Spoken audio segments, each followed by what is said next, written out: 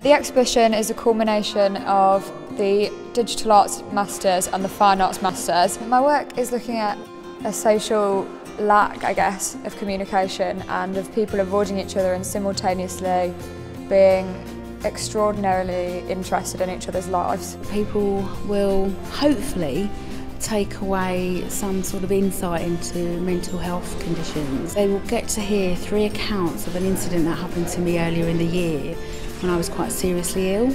With the uh, 360 image that will accompany uh, that particular audio, it might give sort of quite an immersive experience as well. My work is about uh, translating African drums into installation arts using found objects in Europe. The inspiration is bringing the two cultures together. My practice explores uh, the mother-daughter relationship and over the uh, last six months I've been documenting play with my daughter and this exhibition is a culmination of that uh, documentation. We're just sort of putting together everything we've worked on and hopefully people will come and see it.